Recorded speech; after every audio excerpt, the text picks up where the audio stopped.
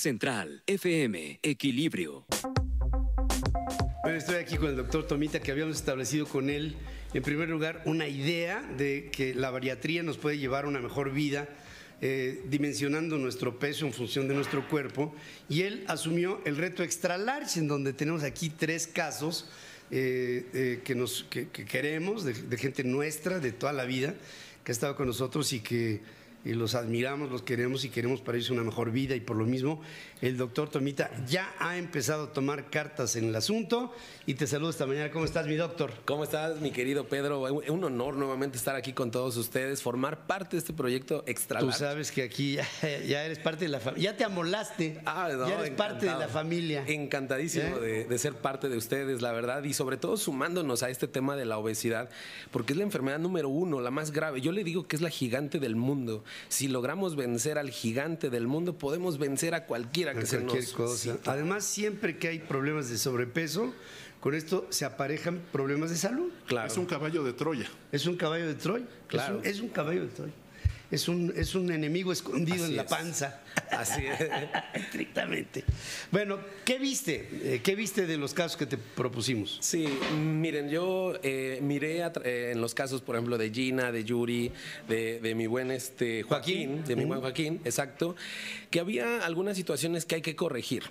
Yo creo que si todos los pacientes con sobrepeso u obesidad realmente hicieran una dieta correctamente, llegarían a la meta. Sin embargo, hay factores alrededor de, de ellos que les impide realizar esa dieta. Por ejemplo, como cuáles pueden ser factores emocionales, factores eh, de trabajo, de compromisos, de Muchos tiempo. son emocionales, ¿verdad?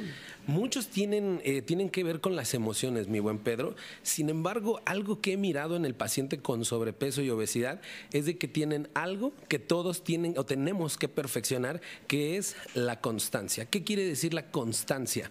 La constancia ¿Están oyendo, chicos? Sí. A ver. bueno. por ejemplo, la constancia y la disciplina. La disciplina se puede perder rápido, que de repente rompí la dieta, me comí un chocolate. Bueno, no se rompió la disciplina. Pero donde estamos no es un, un, un centro donde tengamos que. No es una carrera No, 20 metros, sí, es una claro. carrera larga. Claro, entonces. o sea, puedes un día Claro, fallar. Claro. Sin embargo, ¿qué es lo que hace el paciente con sobrepeso, obesidad o diabético? Se va de viaje, rompe la dieta y dice, doctor, voy a cancelar la cita, lo veo para dentro de 15 días. ¿Y sabes qué es lo que pasa? El fenómeno psicológico, que en esos 15 días que quiere volverse otra vez, no lo hace. Hasta sube de peso en esos 15 días ya que regresó. Rompe la dieta que se va, por ejemplo, a un bautizo, una boda, y en lugar de confrontar la situación, ok, rompí la dieta, pero voy a confrontar mi situación, ¿sabes qué es lo que hacen? Posponen la confrontación que deberían de tener en la báscula y eso hace que el paciente vaya perdiendo la constancia. La disciplina es importante. Qué, buen punto es este, ¿eh? Porque sí, mira, te voy a- yo me voy a, andaba yo en cetosis, ¿no? Por, por un problema que, que tenía yo de salud, de, de divertículos, y entonces en, en- en- en- en- en Washington dije, bueno, pero me desvié tantito y después dije, ah, bueno, ya me di mi gusto, para atrás otra vez, Para adentro otra vez, claro. para adentro otra vez, y entonces no perdí el ritmo. Eso, importante. Y eso es lo que a veces suele, bueno, es lo que suele pasar Así es. con quienes a lo mejor al romper el ritmo piensan que para recuperarlo necesitan hasta después de que acabe Sí, este después, 15 días después. Y fíjate algo sorprendente, mi buen Pedro, porque eh, es una estadística que a mí me sorprende como médico, me sorprende como bariatra. 70% de los pacientes que me dicen, doctor, rompí la dieta, me fui de viaje, fui a una boda, fui a esto, el otro, el otro, pero vengo aquí a que me regañen, así me dicen, ¿eh? Vengo a que me regañen, 70% baja de peso.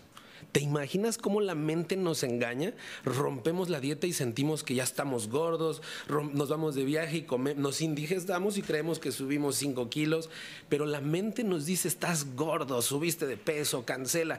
Y lo que pasa es que el 70, 60, 70% de los pacientes que van, confrontan y ven la realidad de lo que comieron, bajaron de peso. Eso a mí me ha sido una... impre- un- Pero regresan a la constancia. Ah, regresan a la constancia. A ver, el caso de Yuri, que aquí tenemos. eh, eh, Yuri, te hago un contexto rápido. Yuri y yo hemos trabajado juntos toda la vida, hem- hemos sido este, eh, compañeros de mil batallas desde bueno, el inicio de la radio.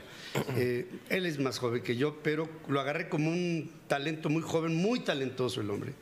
Y, y- y de repente, pam, pam, pam, pam, pam, nos perdimos de vista y se me fue de peso.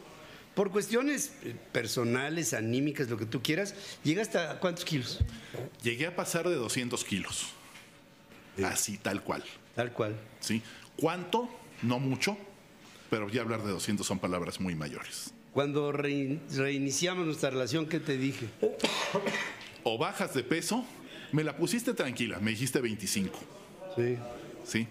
O no te quedas. O no te quedas. Te voy a decir algo. El cariño que nos tenemos y demás, igual me hubieras dejado quedarme, pero nunca te he fallado. No. Nunca, nunca te he dado mi palabra y te la he incumplido. No, nunca. Entonces para mí eso es un peso muy grande. Y pues vámonos. ¿Y bajaste de entrada? De entrada alrededor de 50. De 50 kilos. Pero, doctor Tomita, tú lo ves, digo, obviamente, todavía sigue sobredimensionado. Claro. Eh, Este es- era escalador Ah, sí, me, me contó. y, y- y estaba delgado. Tu hijo es muy delgado, No, mi hijo es un atleta. es un atleta. Pero en fin, este, aquí el tema e- eres tú. Ahora, tanto tú como Gina, como Joaquín, eh, les has bueno, les tomaste dimensiones. Sí.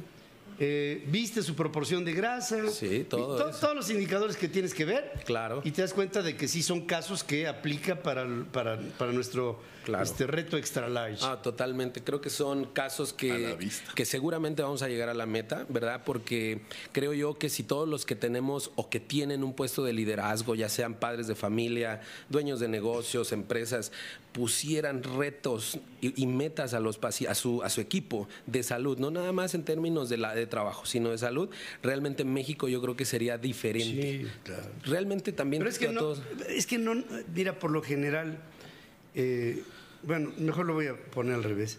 A mí me, a mí me importa mi gente. A mí, Claro, a mí me eso importa. y no me pongo como nada, simplemente sí me importa mi gente. Eh, yo veo a mi Gina, que es, es tallita corta, mi Gina, pues qué, qué Saludos, tienes, Gina. 1.52. O sea, si midiera dos metros, pues estaría bien delgada.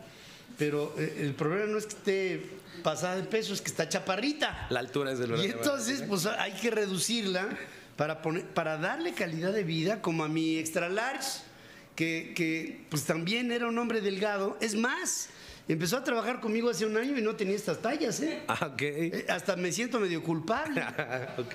Pero, pero todo esto, digamos, tú le has puesto un objetivo a los tres, ¿de qué? ¿Medio año?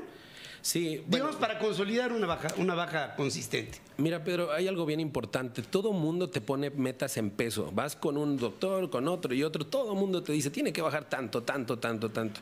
Yo lo que le digo a mis pacientes todos, no se ponga una meta en peso. Póngase una meta en tiempo. Terminar una carrera es un tiempo, es, un- es una meta de tiempo. claro. Un diplomado es una carrera de tiempo. Sí. El peso debe ser un- una meta en tiempo. Yo, si soy una persona de éxito, de convicción, yo debo de proponerme, yo a mis pacientes entre 20 y 25 kilos le digo, si usted está en ese rango, propóngase una meta de seis meses para lograrlo. 25 kilos es buenísimo en, en seis meses.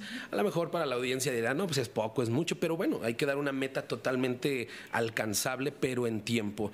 Eh, es importante que nosotros cambiemos los lentes o los objetivos, la forma de ver la obesidad, que el paciente a los dos, tres meses se desanima. Entonces yo les digo, por favor, cumpla esa meta de los seis meses y mire si se aburrió, pero venga, si a lo mejor ya no quiere comer la dieta, venga, confronte su situación, pero conózcase en ese ambiente donde usted ya tiró la toalla, mire, aún así venga y peces. Claro, porque es un tema de... Claro. Yo creo que la prueba más grande que puede tener un ser humano es la voluntad, ¿no, Yuri? Por supuesto. Claro. Es la voluntad, pero sobre todo el bienestar. Sí, ponerte la ropa que te gusta, no la que te queda. Exacto. Son pequeños detalles. sentirte bien, sentirte a gusto contigo. eh, con el paso del tiempo, digo, pues ya no somos los chavitos que éramos cuando nos conocimos. Y necesitamos empezar a buscar una forma de calidad Claro, de vida, que es lo que tú das. claro. Eh, eh, por ejemplo, entiendo que, por ejemplo, el caso de Joaquín, él tiene mucha retención de líquidos. ¿Es un, es un tipo de padecimiento especial por el tema de la obesidad? Yo sí, sin duda la retención de líquidos tiene que ver con el problema de sobrepeso. O sea que no está gordo, nada más está lleno de agua. Está hidratado. Está, está- Joaquín está sobrehidratado, viejo. Eso es lo que tiene, está sobrehidratado. Sí, pero el, fíjense que algo bien importante, Pedro, que cuando una persona retiene líquidos puede ser más peligroso ¿Qué será más peligroso? ¿Ganar un kilo de agua corporal? O sea, que yo la retengo. O ganar grasa. un kilo de grasa. Todo el mundo Pues yo hubiera pensado que de grasa. es, es mala realmente, pero realmente la grasa, el corazón se hizo para cargar. Mientras más trabajo, más fuerza y todo, el corazón nos va a aguantar. Eh, es un tejido que si no se pone a, a trabajar, se va atrofiando, se va muriendo, ¿verdad?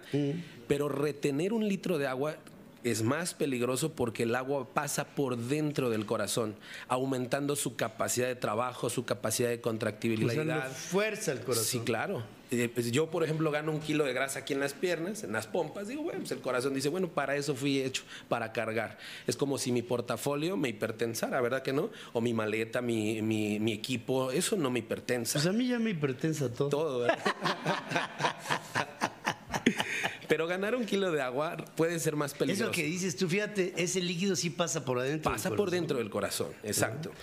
Y está pum, pum, pum, pum, pum, pum, pum, Exacto, pum, pum. exacto.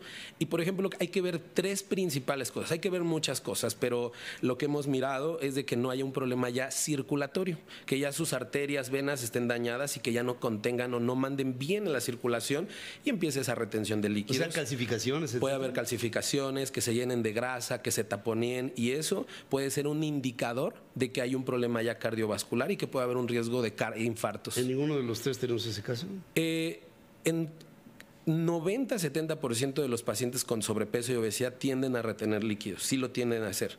Parte de mi tratamiento, mucha gente dice, no, no, no es bueno perder agua, pero en mi tratamiento es importante que pierdan un poco de agua. Es importante claro. porque liberan carga a nivel del corazón. Hay que checar que no tenga un problema circulatorio, que no tenga un problema renal como una infección de vías urinarias, que no esté tirándose el agua por donde debe, o un problema directamente a nivel del corazón. En el caso, por ejemplo, eh, ¿sí puedo hablar de la situación de lo que viene al consultorio? Bueno, sí. ¿Sí, no hay problema? ¿Sí? ¿Va? Ok. ¿Va? ¿Gina va?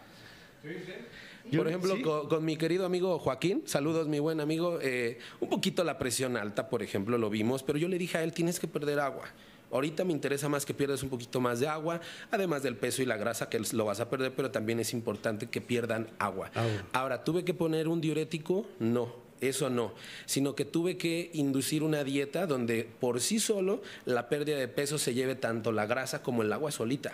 Entonces es algo que es indis- indispensable para mí, que desde la primera consulta... diuréticos naturales, pues, por decirlo de alguna Puede manera. haber o- diuréticos. O, digamos, alimentación que te puede llevar a, a eliminar más. Sí, claro. Dietas especializadas, dietas personalizadas son los que te- lo que tenemos que hacer. En el caso de mi Gina, Gina, eh, pues platicábamos que hay una, lo que hay que trabajar, eh, la parte eh, emotiva, la parte de la constancia, y yo creo que platicaba yo con Gina, saludos Gina, te mando aquí un saludo muy fuerte, pero yo platicaba con Gina, hay factores que creemos que nos impiden bajar de peso, por ejemplo la tiroides, que el último hijo, desde que tuve el último hijo ya no he bajado como debería, desde que me casé, la menopausia, la andropausia, todas esas son causas eh, realmente no reales que nos impiden bajar de peso, o sea, no son reales. son barreras que le pone uno a la mente, ¿no? Sí, en la mente. en la mente. Entonces, lo que pasa es de que el paciente, yo lo que miro que le falta es constancia. He tenido pacientes, mi buen Pedro, que Constancia, jóvenes. he tenido pacientes que por cirugía les quitan toda la tiroides, o sea, las dos lóbulos, y siguen bajando de peso, ¿eh? Como si la tuvieran. O sea, y entonces ahí me doy cuenta de que la tiroides no es un problema, no, No, no es debe de ser, no debe En de el caso ser. de mi Yuri. En el caso de mi buen Yuri, pues hay que trabajar sobre todo en la parte constancia, emotiva y sobre ¿Traías todo compulsión? Fuerte. Fuerte, ¿verdad? Por supuesto que sí. De comer pss, por cuestiones de carácter anímico, personal. Básicamente. ¿Sí? ¿Verdad? Sí, Pero ya te tengo bien entretenido, ¿verdad? absolutamente. Doctor Tomita, eh, gracias por tomar estos tres casos. Para mí no son tres casos, son tres personas queridas, cercanas, eh, nuestras, de Central FM, de mi vida y de mi carrera y de, y- y de, eh, tenerlos aquí. Se me hace eh, muy importante, eh, no solamente para ellos, Claro. sino como un ejemplo, porque finalmente somos comunicadores y tenemos que dar un ejemplo. Dijiste algo muy importante al principio, no es un tema de desviarse, sino de no volver a recurrir al camino. O sea, te puedes, no te estoy dando permisos, pero, pero, pero, pero te puedes salir tantito, pero regresar. Regresar y estar en la línea que nos marca el doctor Tomita, porque los quiero ver bien, los queremos ver bien, y junto con lo que queremos ver, ver bien estos tres queridos eh, amigos de, de, Central FM y colaboradores cercanos y, y valiosos, eh, a ustedes también, dentro de nuestro público en México, en Estados Unidos, en América del Sur, en América Central. Queremos ver gente eh, con una calidad de vida que a través de la... Hombre, se puede poner una cosa de estas gástricas de que, y sí, y cortar el estómago, pero no, hombre, esto hay que hacerlo con una bariatría inteligente, bien llevada, con profesionales como es el doctor Tomita, que tiene un gran prestigio en nuestro país y que por lo mismo acudimos a él para entrar en este esquema, en este reto extra large, en donde los vamos a dejar petit. Petit, así es. Así los vamos a dejar. Sí, mi buen Pedro. Gracias, mi doctor. Muchas gracias. Gracias, gracias. Yuri, querido, gracias por no fallarme. Gracias, mi extra large. Querido muñeco, mi Gina, querida. A ti, bueno, Gina tenía ciertos problemas depresivos y desde que está trabajando con nosotros la veo tan animada que ya no tiene tiempo ni para deprimirse. Exacto, eso es importante. Bueno, pues este, gracias a todos, gracias por colaborar, gracias por, por dar su caso, no por otra cosa, sino porque su caso o sus casos documentan a los demás que nos están escuchando y viendo para hacer lo mismo. Queremos una buena vida para todos aquellos que están parte y son parte de esta familia de Central FM Equilibrio, como, como tú, doctor. Gracias, gracias, gracias por estar aquí. Hacemos un corte, regresamos con más noticias.